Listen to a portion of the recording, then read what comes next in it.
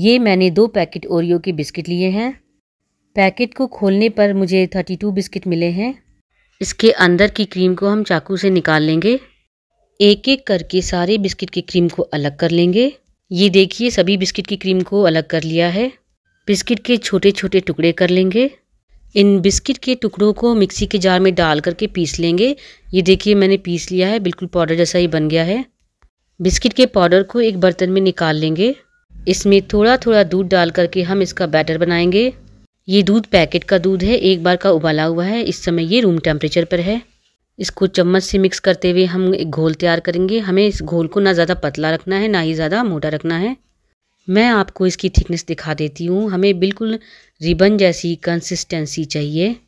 Video को आपने अभी तक लाइक नहीं किया तो लाइक कर दें। चैनल पर नए तो सब्सक्राइब कर दें। इसमें एक पैकेट इनो डालेंगे।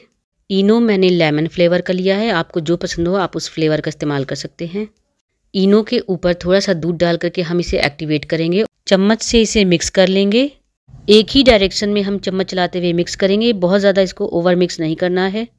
ये मैंने छोटा सा एक एलमिनियम का भगोना लिया है।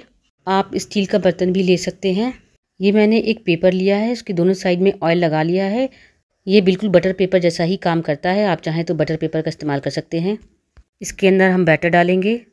इसमें थोड़ी सी चॉकलेट चिप डालेंगे, जो कि ऑप्शनल है। आप बैटर बनाने से पहले ही भगोने को ऑयल से ग्रीस करके रखें, फिर बैटर डालें।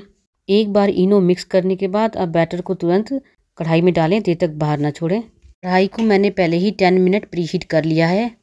कहने का मतलब है कि कढ़ाई को गैस पे रख करके, इसको ढक करके दस मिनट के लिए मैंने इसको गर्म किया है कढ़ाई को।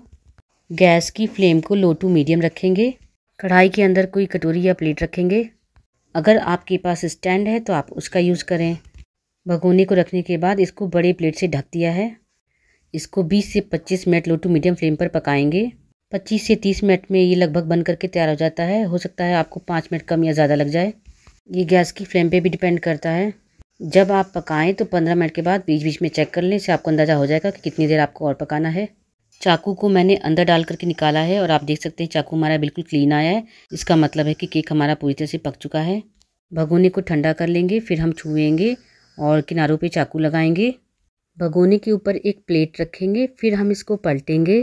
को रखने के बाद भगोने के ऊपर हल्का सा थपथपाएँगे और हम जब निकालेंगे तो बहुत ही आराम से हमारा केक बाहर आ जाएगा। इसके ऊपर लगे हुए पेपर को हम निकाल लेंगे।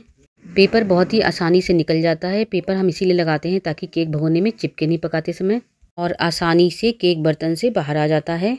इस केक को मैं आपको हाथ से उठा करके एकदम पास से दिखा देती हूँ ताकि आपको अंदाज़ा हो जाए ये काफ़ी अच्छा बना हुआ है। साइड से भी आप देख सकते हैं कि ये बहुत ही अच्छी तरह से पका हुआ है। अभी रखते हैं इसको साइड में। अब हम एक भगोना लेंगे और उसमें थोड़ा सा पानी रखेंगे। इसके ऊपर मैंने कांच का कटोरा लिया हुआ है और इसके नीचे का पोर्शन पानी को टच नहीं कर रहा है। ये मैंने डेरी मिल्क की तीन चॉकलेट ली है इसके छोटे छोटे टुकड़े करके कटोरे में डाल लेंगे। में दो तीन चम्मच दूध ऐड करेंगे। थोड़ा सा बटर डालेंगे। बटर डालने से इसमें अच्छी शाइनिंग आ जाएगी। ये बहुत ही जल्दी बनता है। कुछ ही देर में आप देखेंगे कि चॉकलेट पूरी तरह से पिघल जाएगी और चॉकलेट सिरप तैयार हो जाएगा। बिस्किट के अंदर से जो क्रीम हमने निकाली थी, उसका यूज़ करेंगे।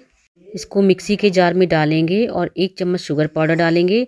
थोड़ा सा दूध डालेंगे। अगर आपके पास मलाई हो तो वो भी एक दो चम्मच आप डाल सकते हैं।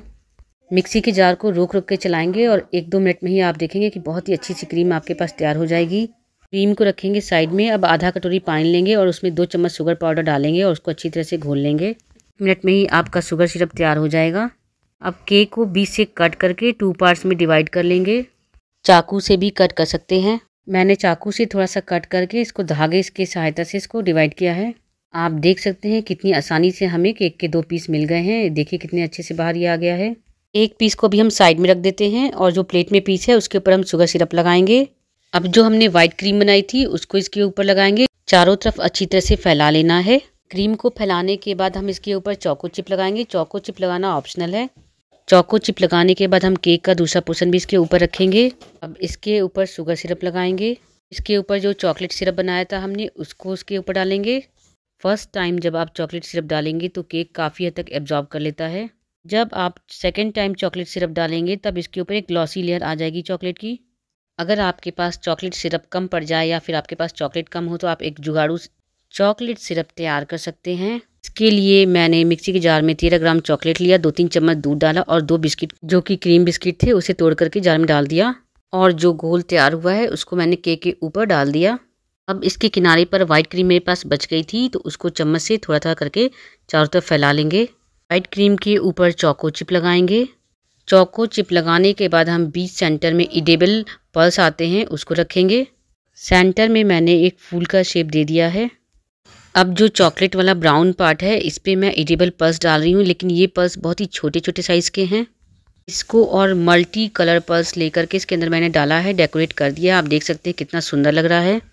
आप देख सकते हैं कि केक हमारा लुक में कितना सुंदर लग रहा है। बहुत ही सुंदर डिज़ाइन का केक बन करके तैयार हुआ है। मैं इसे आपको कट करके दिखा देती हूँ। आप देख सकते हैं कि चाकू से कितना सॉफ्टली कट जा रहा है। टेस्टी टेस्टी केक तैयार है। वीडियो आपको पसंद आता है प्लीज़ लाइक करें। चैनल पर नया है तो सब्सक्राइब करें।